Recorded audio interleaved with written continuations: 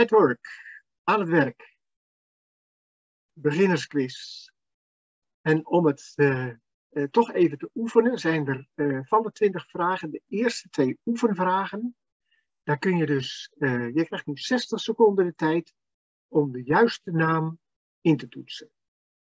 Denk erom, in het Nederlands en juist gespeld en zo snel mogelijk.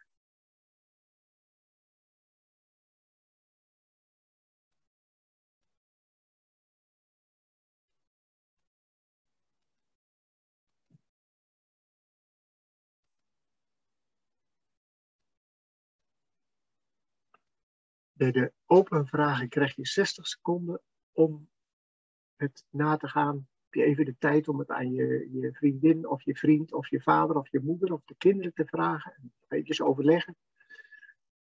Mag allemaal. Mag het zelfs in de flora opzoeken. Alleen dat kost tijd. En dan heb je minder punten.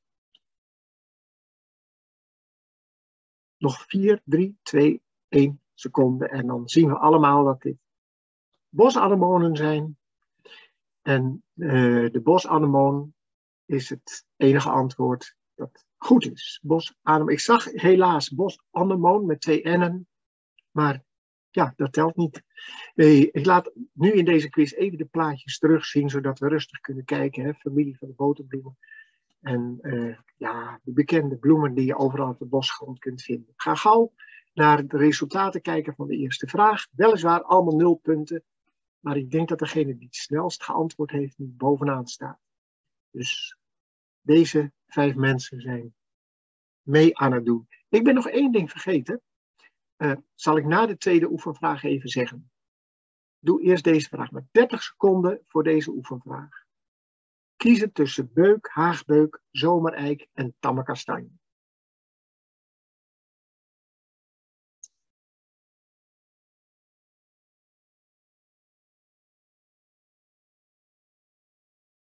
Dus je drukt op de kleur die in jouw ogen juist is. Of op de naam die in jouw ogen juist is. Er zullen ook kleurenblinde mensen zijn. Nou, het is leuk om te zien dat er uh, eh, 108 mensen, hè, er doen er op het ogenblik uh, dus een 130 mee, dat er uh, eh, 108 mensen zijn die dit juist hebben geantwoord. En voordat we verder gaan, Roel, even dit. Het is dus een quiz voor beginners en dat betekent dat alle mensen die zichzelf crack, deskundig, specialist, ervaren, uh, noem allemaal maar op, noemen, die worden geacht uh, deze quiz aan zich voorbij te laten gaan en alleen maar mee te kijken hoe dat in dit geval gaat. Het is de eerste keer dat we dat doen. En in zekere zin dus ook een experiment om te zien hoe dat nou verloopt. Maar ik heb er zin in en ik wens jullie allemaal heel veel succes met de, de echte quiz. Daar gaan we dan nu mee door. En vraag Roel om het volgende plaatje te laten zien.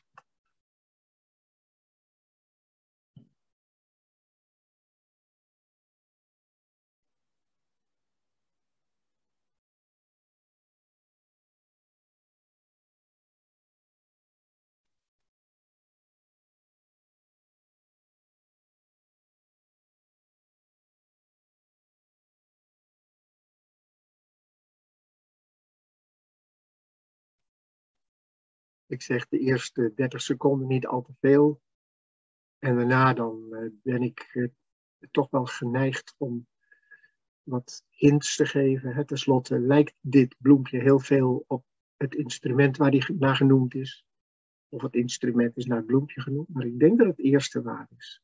Dat de instrumenten er eerder een naam hadden dan dit bloempje. Maar ja, welke dan? Er zijn zoveel instrumenten. En zoveel violen. Maar daar hebben we natuurlijk mee te maken, hè, met een viooltje. En het enige juiste antwoord is akkerviooltje. 52 mensen hebben dat goed gezien. Dat is toch een aanzienlijk aantal.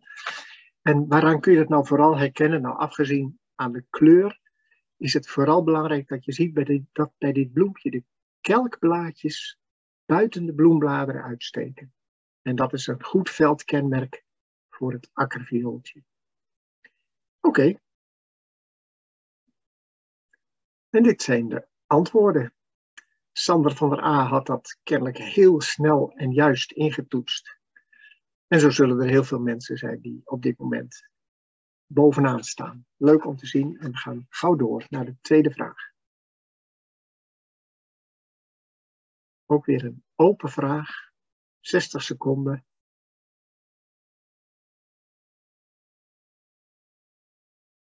Toets het enig juiste antwoord in. Twee woorden in dit geval.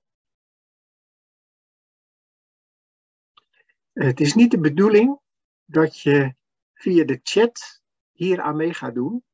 Dus ik verzoek je wel om uh, de chat uit te zetten en of niet te gebruiken. Want het is nu niet leuk als mensen gewoon via de chat allerlei aanwijzingen gaan geven. Bovendien was dit antwoord fout, voor alle duidelijkheid.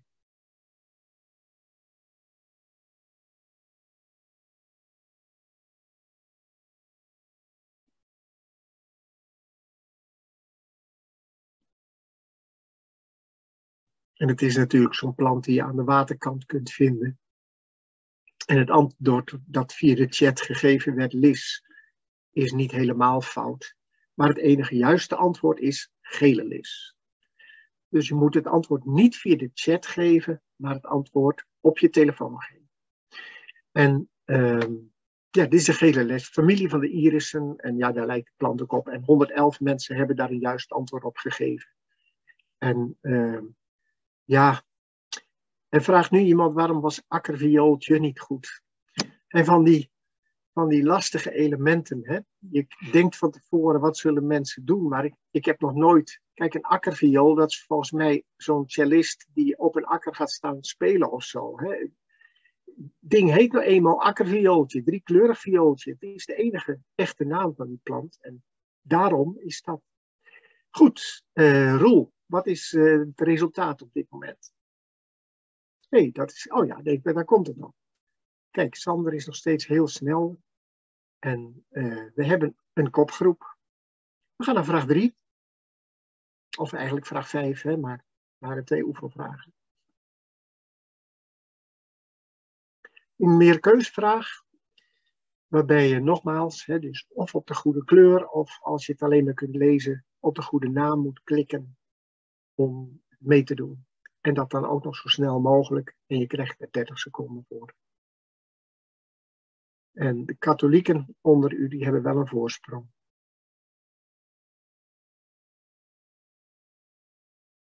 Want die hebben allemaal die kardinalen wel eens gezien. Die allemaal zo'n mooie muts hebben. Maar ik zie dat de meeste mensen dat ook goed hebben. Dat is leuk. Ik vind het mooi dat dat gebeurt. Dit is de kardinaalshoed. De kleur van het, van het kapsel van deze vrucht is echt precies zowel qua vorm als qua kleur de hoed van de kardinalen. Nou, dingen. Ik denk dat het zo is dat kardinalen naar de plant genoemd. Nee, het zal toch ook wel. Nee, die kardinalen zijn er al veel langer. Nou, vooruit. Um, Oké. Inmiddels is uh, Sander afgevallen en staat P nu bovenaan. Dokter Anders of zo, ik weet het niet. We gaan naar vraag 6.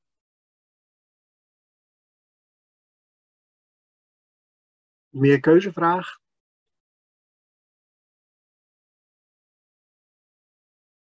Om het allemaal behapbaar te maken, zitten er in deze quiz wat meer, meer keuzevragen.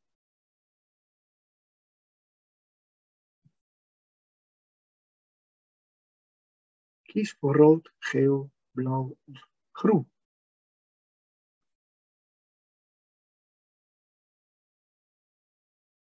En in dit geval is groen het goede antwoord, hoewel er ook heel veel mensen dachten dat dat de grote kadebol was.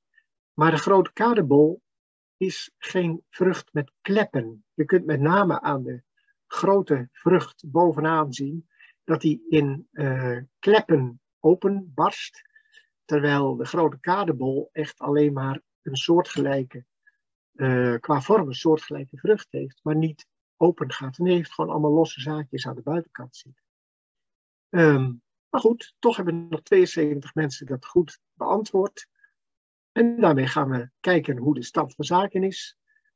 Intussen heeft BMW de boel ingehaald. Ja, weet niet hoe professioneel die burgemeester en wethouder is, maar we zullen zien wat het, uh, in, het in het verloop van het spel op gaat leveren. Ik vind het wel leuk dat die boel wat wisselt. En we gaan naar de volgende vraag. Vraag 7.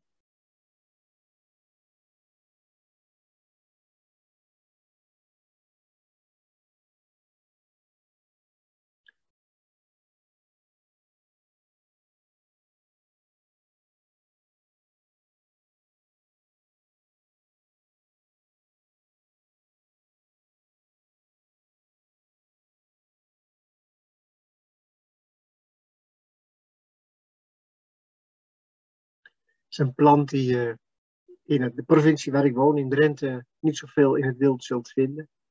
Die meer op de iets kalkrijke zandgronden groeit, langs de kust en langs de rivieren en zo. Waarbij de bloem al maar langer wordt en zich als een slang omhoog werkt, opkrullend vanuit het centrum. Um, ja, prachtige plant, een van mijn favorieten. Heel mooi voor vlinders en andere insecten. Het is natuurlijk slangenkruid. En ik zie dat er ook mensen slangenwortel hebben genoemd. Ook dat kan ik me voorstellen hoor. Die zijn soms lastig, niet, niet qua soort, maar qua naam uit elkaar te houden.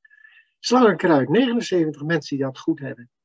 Ja, we verder niet te veel over zeggen. Dit is slangenkruid. Dus, Roel, laat eens zien Kijk, in één keer komt Loes bovenaan. Niet Loesje, maar Loes en Duinviooltje. Ik vind het leuk om te zien hoe daar iedere keer wat wisselt. Ik ben benieuwd waar we eindigen. Um, volgende vraag, Roel.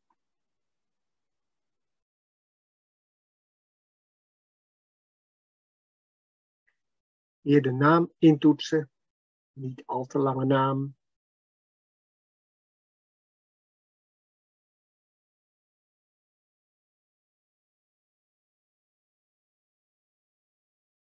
Nee, Trudy, kennelijk hebben we er niet aan gedacht om slangenkruid ook goed te rekenen. Ja, spijt me.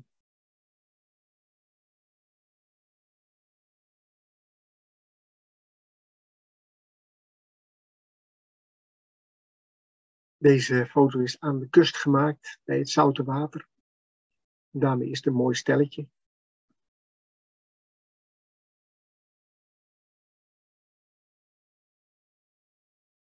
Groeit niet alleen hoor, uh, aan de kust, maar ook in de stad en zo. Allerlei muurtjes en zo.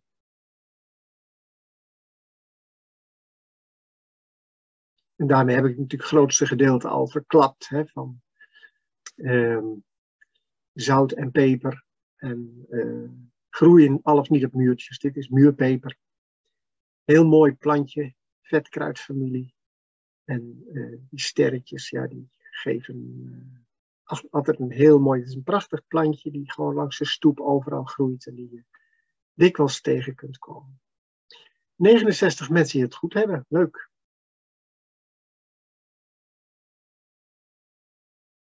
En Loes is bovenaan gebleven.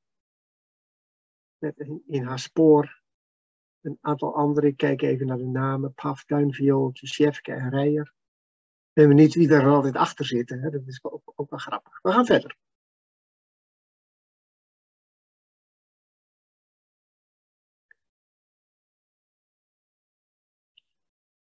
Ja, dan moet je wel voor in Drenthe zijn.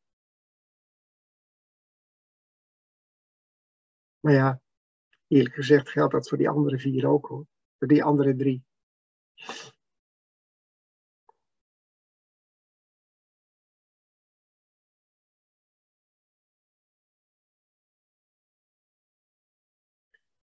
Want als je goed gekozen hebt, dan heb je in dit geval de kleur van de bloem, de gewone dophei, aangeklikt. Want dat is het juiste antwoord. En uh, ja, gewone dophei is natuurlijk een prachtig plantje met die mooie belletjes die uh, op de hei te vinden zijn. Vooral in de nattere delen. De, ja, op de droge delen, daar vind je veel meer struikhei. Maar op de nattere delen, de dophei, ideale plant voor allerlei insecten om daar nectar uit te halen. En beeldschoon en heel fotogeniek. En de uitslag. Je houdt in dat Loes en Duinviooltje en Chefke en Paf nog altijd bovenaan staan. Ellen is in de buurt gekomen. En we gaan door met de volgende. Denk weer een losse vraag. Ook weer een uh, tamelijk kort antwoord.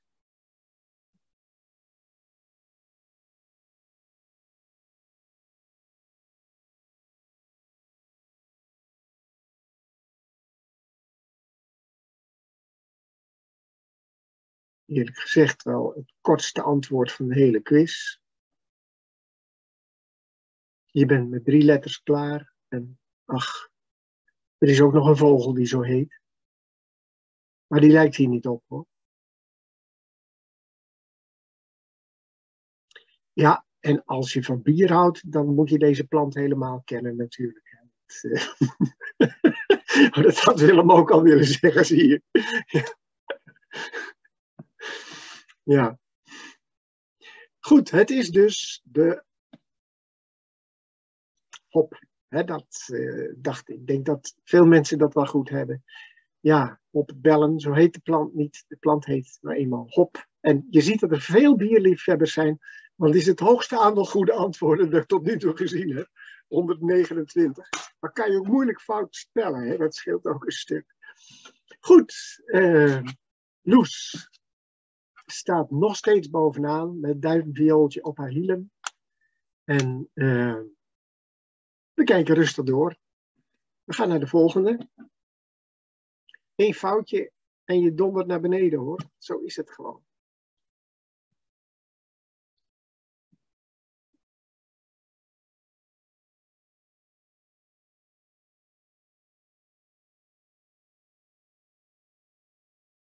Ja, moet je ook weer voor in Drenthe zijn hoor.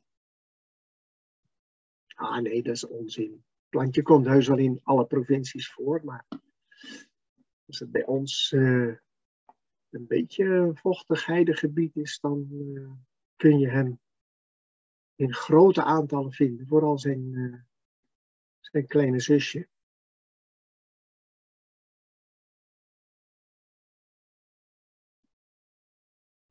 En je kunt nu natuurlijk niet zo goed die kleverige haartjes zien.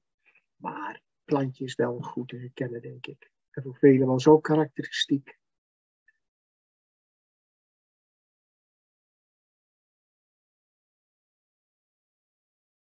Want dat is natuurlijk de ronde zonnedauw. Kijk even heel goed. Ja, ja ik zag in, in het voorbijgaan een naam, rondbladige zonnedauw. Ja, dat zijn van die lastige dingen. Hè? Ehm, ik snap het wel. Misschien moeten we de volgende keer daar nog meer ons in verplaatsen. In, in dat soort vergissingen en zo. Maar het is ronde zonnedauw. Dat hebben toch uh, de meeste mensen goed. Hè? Uh, eh, 51 mensen hebben daar een goed antwoord op gegeven. Uh, prachtig plantje. Ik ben benieuwd wat het oplevert. Kijk, hier is Loes nu uitgevallen.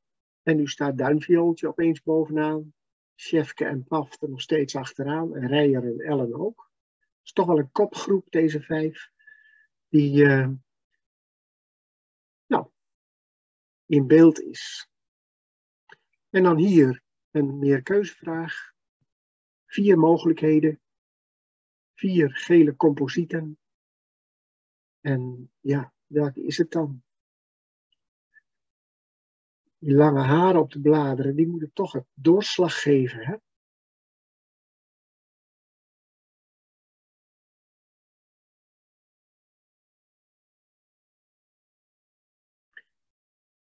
Het is, nou, wat veel mensen, de meeste mensen hebben gezien, de muizeroor.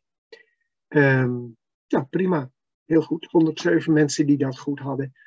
En daar ben ik blij om. Het is een mooi herkenbare plant. En, uh, Leuk dat jullie die herkennen. In de, in de ranking is alleen Ellen er nu uitgevallen bij de bovenste vijf. En daarom gaan we gauw maar door. En Appelboom maakt een comeback met drie goede antwoorden op een rij, zag ik. Leuk hè, om dat allemaal te volgen op die manier. Eh, goed, maar ik zal je niet storen. Denk rustig na.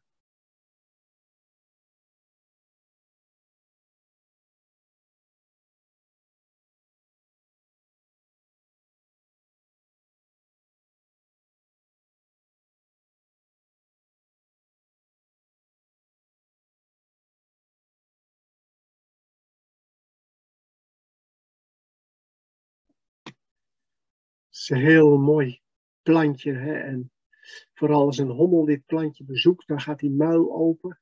En dan kun je ook voorstellen waarom hij die naam gekregen heeft. Ik ben vroeger wel eens uh, gestopt uit, met de auto omdat ik dacht dat het een orchidee was. Maar nee, dat is lang geleden. Maar het is het vlasbekje of de vlasleeuwenbek. In dat geval zijn die beide namen goed. Vlasbekje en vlasleeuwenbek. En het is natuurlijk een leeuwenbek, maar hij heet echt vlasleeuwenbek of vlasbekje. Um, leeuwenbek is meer een geslachtsnaam voor een heleboel soorten. Je hebt gestreepte leeuwenbek en paarse leeuwenbek en daar noem maar een heleboel op. Hè. Dus alleen leeuwenbek was onvoldoende. Vlasleeuwenbek was het juiste antwoord bij deze plant.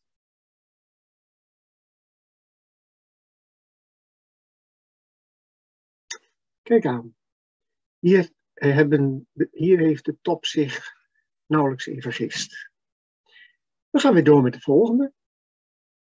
Een meerkeuzevraag, vraag 14. Er is nog 7 te gaan.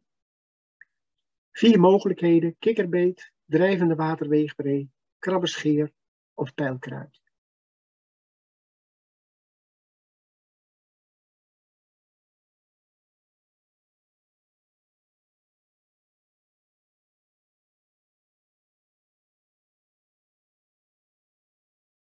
Heel mooi, glanzend wit teer. Bloempje dat boven het water uitsteekt, driebladig. Zoals de meeste waterplanten. En inderdaad, de meeste mensen hebben het juist gezien. Dat dit een uh, kikkerbeet was. Bij kik kikkerbeet, uh, Roel, als je het plaatje even laat zien.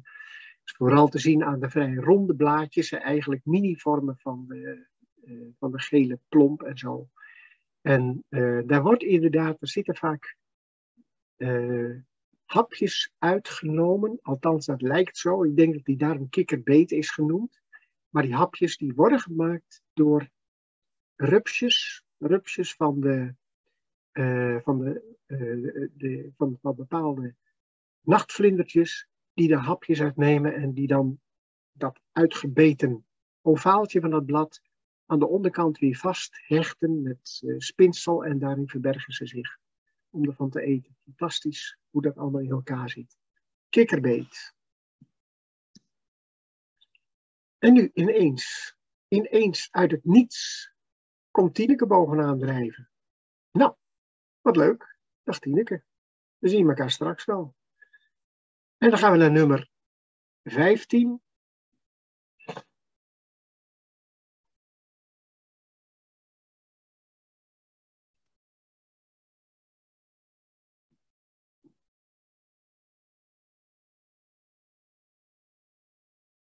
Plant is vanmorgen al ter sprake gekomen.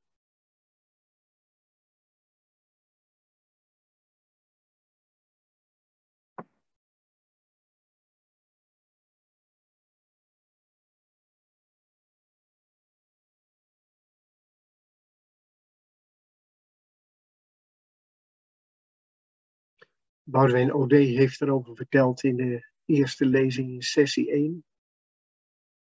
Over de invasieve exoten en de bestrijding van verschillende soorten waar deze ook bij hoort. Heeft vooral in de biesbos enorme oppervlakken overdekt. Maar met kinderen is het toch altijd leuk om in die zaadjes te knijpen en te zien hoe de zaden dan openspringen. Het is natuurlijk een springbalsemien, maar de naam van deze plant is reuzenbalsemien. En dat zullen veel mensen goed hebben. Maar daar zitten in het schrijven best een paar mogelijkheden in. Hè? Of balsamin. nou ja, kunt je dat wel voorstellen. Is best lastig. Uh, maar hier, ja, ik denk dat, uh, dat er genoeg over gezegd is. Dus laten we kijken naar de stand van zaken. Tineke is hier bovenaan gebleven. Peperboompje komt uh, opzetten. Rijer en Wessel, dat is wel leuk. Dat er elke keer weer andere namen komen te staan. En het kan nog alle kanten op. Er is nog niks beslist. Dus het blijft spannend wie hier uiteindelijk met de tekening naar huis mag. Naar huis mag, thuis mag blijven. Vier schermbloemigen voor jullie. en de vraag of je weet welke dit is.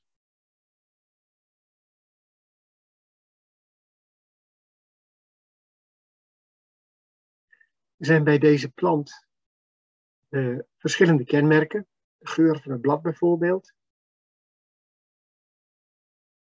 En meest kenmerkend, want het uh, gaat hier natuurlijk om de wilde peen. Hè, dat is het goede antwoord de peen, peen of wilde peen. Um, die uh, wilde peen die kun je herkennen aan verschillende dingen. Aan de geur van het blad natuurlijk. En dan in de tweede plaats omdat heel vaak in het centrum van het scherm een paars bloempje zit. Als je daar echt op gaat letten, valt het wel erg op. Pas als je erop gaat letten, valt het op. Dat geldt voor heel veel dingen in de natuur. En uh, bovendien is heel goed te zien op deze foto dat het omwindsel, dat zijn zeg maar een soort steunblaadjes die onderaan de stralen zitten. Dus onderaan wat we noemen het omwindsel. Het omwindsel onderaan de, de bloeiwijze, dat is vertakt. En dat is maar bij heel weinig geslachten van de schermbloemigen het geval. De hebben dat en de wilde peen heeft dat. Nou, daar kun je mee verder, denk ik. En veel mensen hebben dat ook goed geantwoord.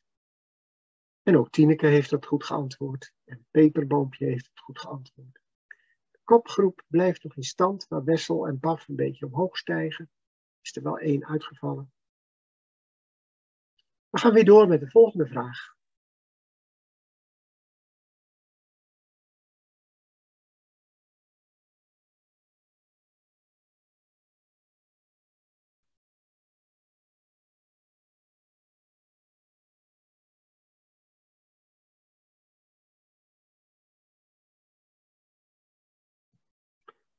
Zitten ook een paar van die spelmogelijkheden in. We hebben wel geprobeerd om een paar op te vangen. Maar ja, je moet je Nederlands ook kennen.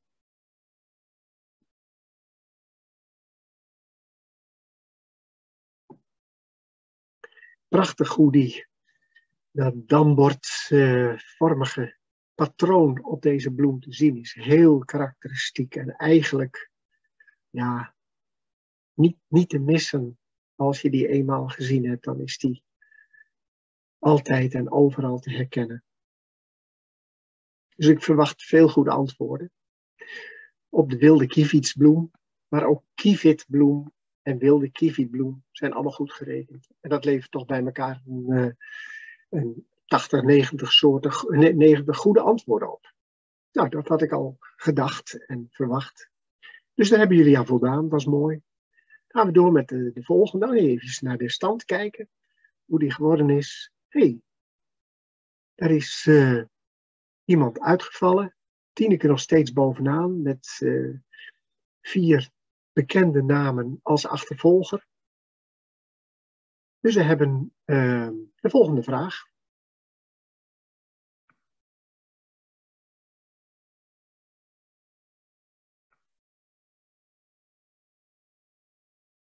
Nou, hier moet je echt voor aan de kust zijn.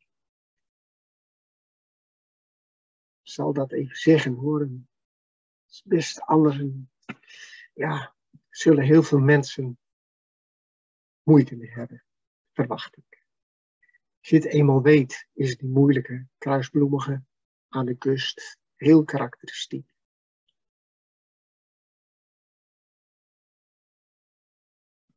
En als je de zaden ziet, dan zie je ook wel een beetje de vorm van de naam.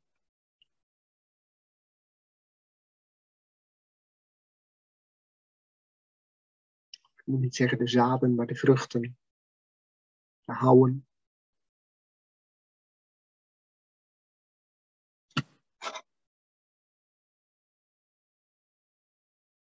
Het is de zeeraket en die zal wel onderscheidend zijn, verwacht ik. Ben heel benieuwd wat hier het aantal goede antwoorden op is. 42. Je ziet dat is aanmerkelijk minder. Toch 42 mensen die dat goed hebben geantwoord. Ik zie dat hier op die kleine foto minder goed die vruchten zijn te herkennen. Of die, die vruchten die hebben echt de vorm van een raket. Als je dat ziet, kijk maar eens in de flora. Het is ontzettend interessant om te zien hoe daar zelfs die vier pootjes die je bij een raket voorstelt, hè, waarmee die op de grond steunt, zelfs dat zit bij deze vruchten, uh, is bij deze vruchten zichtbaar. Dat is leuk. De zeeraket en de stand. Ja, ja, van die hele kopgroep was Wessel uh, degene die het goed had en die nu het ook heel snel had gedaan. Dus uh, ja, zaken is een beetje, een beetje anders nu. Je ziet, het kan zomaar weer veranderen. En Bijtje is een hele nieuwe naam die ik erbij zie. Het zal wel iemand zijn die uh, Bijkerk heet of zo, zoiets. We zullen het zien. We gaan naar de volgende. Vier mogelijkheden. Harig wilgeroosje, wilgeroosje, vingerhoedskruid of grote kattenstaart. Nou, ik denk dat daar veel goede antwoorden komen.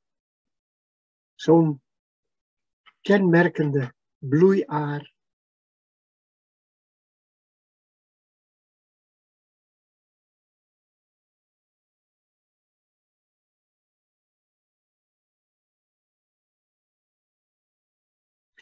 Ja, een wilgeroosje ja, het harig wilgeroosje heeft uh, veel meer een pluim en heeft veel grotere bloemen met een uh, hele lange hangende witte, witte stempel in kruisvorm. En uh, wilg, het wilgeroosje heet ook zo omdat hij wilgvormige blaadjes heeft. Heel mooie plant op drogere delen, hè, waar de harig wilgeroosje echt aan de waterkant staat. Um, veel goede antwoorden. En ik ben benieuwd waar we blijven. Wessel is bovenaan gebleven. En uh, ja, ik denk dat er in de eerste vijf bij deze vraag niks veranderd, is. Dus we gaan uh, naar de volgende.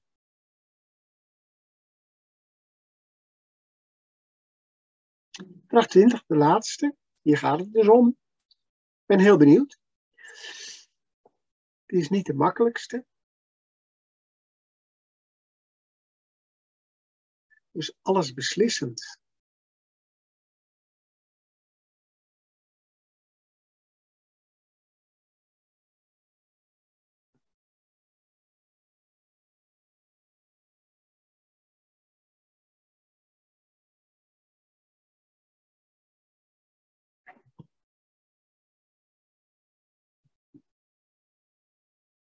Ben heel nieuwsgierig.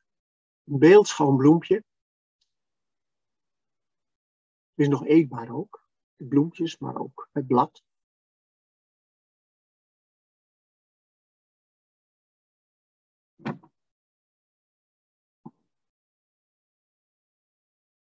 Nou, de ontknoping nadert. Het gaat in dit geval om roze winterpostelijn. En alleen winterpostelijn is niet voldoende voor een goed antwoord. Er zijn maar 18 mensen die dat goed hebben. Nou ben ik zo benieuwd hoe nu de eindstand geworden is. Roel, help ons uit de droom.